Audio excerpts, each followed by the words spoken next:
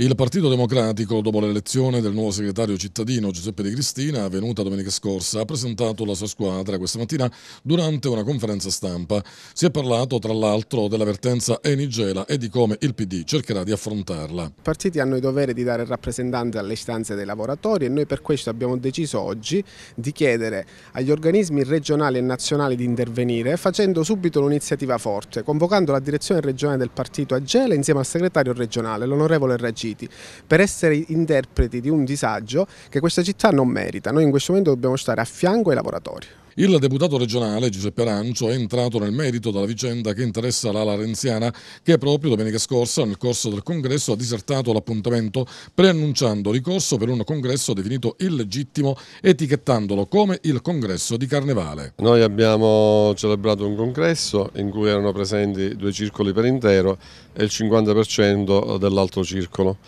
quindi eh, è un congresso ortodosso, poi gli altri possono fare quello che vogliono, non ci interessa. Al congresso era presente all'incirca quasi il 50% dell'area renziana, perché l'area renziana è un'area un vasta, eh, c'era Giacomo Pulizzi, Cirignotta, Luciana Carfì, che sono una parte rilevante di, di quest'area. Mm, quelli che sono rimasti sono l'area che sono vicine a Fasulo, l'area fasuliana, che non capisco perché il congresso era aperto a tutti, c'era un accordo eh, di come procedere, eh, c'erano delle pregiudiziali che erano state poste dal loro leader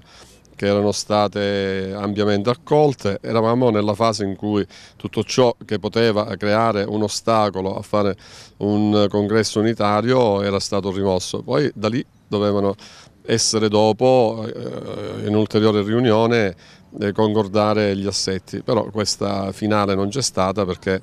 eh, praticamente dopo la riunione la, la sera stessa i consiglieri comunali hanno disconfermato l'accordo. Il Partito Democratico a Gela è presieduto da Claudia Caizza. Cercherò di mettere a servizio di questo partito l'esperienza che ho acquisito in questi anni a fianco di dirigenti importanti, di, come segretario di circolo, del primo circolo e, e sono orgogliosa di affiancarmi alle nuove, nuove leve del partito, a nuovi giovani che si affacciano eh, a questo partito per dare un contributo importante. Abbiamo il segretario Peppe Di Cristina, ehm, ha eh, voluto costruire una squadra nuova, una squadra di giovani, donne eh, e uomini che hanno una loro esperienza, un forte radicamento sul territorio, persone sulla cui serietà e sulla cui eh, rispettabilità non c'è nulla da eccepire e che vogliono spendersi per questo partito.